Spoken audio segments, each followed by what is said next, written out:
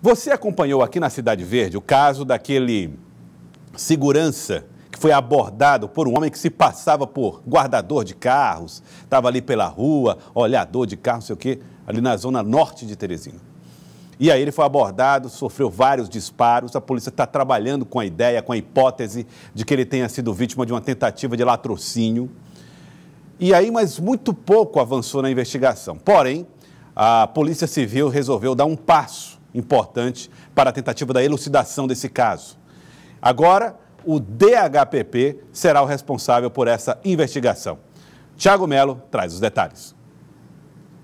Câmeras de segurança mostram a sequência da ação.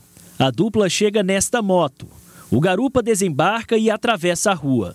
O homem de camisa escura pega um papelão para se passar por flanelinha, mas o objetivo dele não era guardar veículo.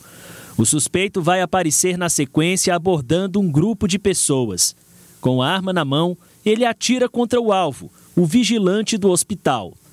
O bandido abaixa, pega a arma, se junta novamente ao parceiro e foge. Veja o criminoso com as duas armas nas mãos. O hospital fica no bairro Primavera 2, zona norte de Teresina. O fato aconteceu no último dia 7 de agosto. Para a Polícia Civil, houve uma tentativa de latrocínio. O caso ficou com a delegacia da área, mas não avançou. Por isso, foi transferido para o Departamento de Homicídio e Proteção à Pessoa. Imagens congeladas mostram o autor do crime com mais proximidade. A moto do comparsa seria prata ou branca, com roda esportiva. Estamos divulgando novamente as imagens para que quem tiver qualquer informação que leve à identificação dos autores, que eu faça através do número 181 do DHPP. Cabe ressaltar que a pessoa não precisa se identificar nem vir ao DHPP. Basta prestar qualquer informação que leve à identificação dos dois indivíduos. O vigilante Valdeci Alves da Silva levou dois tiros.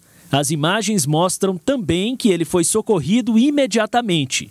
Em menos de um minuto, estava na maca a caminho do centro cirúrgico onde foi operado. Valdeci ficou em estado grave na UTI, mas se recuperou e teve alta 14 dias depois. Em função dos tiros, ele ficou paraplégico.